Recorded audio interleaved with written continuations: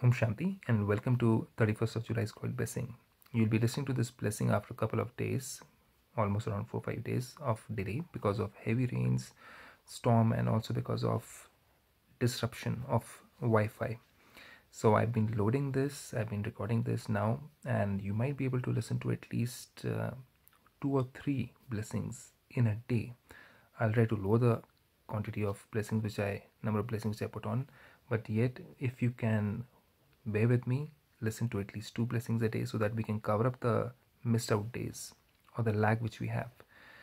Then it will be helpful. And thank you for being connected to this blessing channel and also the Amrit Vela, that is the early morning meditation when we connect to the cosmic energy, cosmic powers. And thank you for being connected for even the Sunday sessions, even though today is a Sunday when I'm doing this recording. Thankfully, the internet is good, but uh, we have not been able to conduct the Sunday session this time. So we'll come back to you with a beautiful session with wonderful topics. Do be connected with us, stay connected, and let's go back to 31st of July's Called Blessing. Supreme Father here says, May you become an image of virtues, full of all virtues, who has virtues as well as knowledge emerging from you. Each one of you has a lot of this knowledge but there is now a need for virtues to emerge. That means qualities whether it's purity whether it's divinity whether it's hopefulness whether it's courage whether it's discipline whether it is happiness joy whether it is politeness kindness. Whatever qualities which god has told us there are 36 different qualities actually and much more.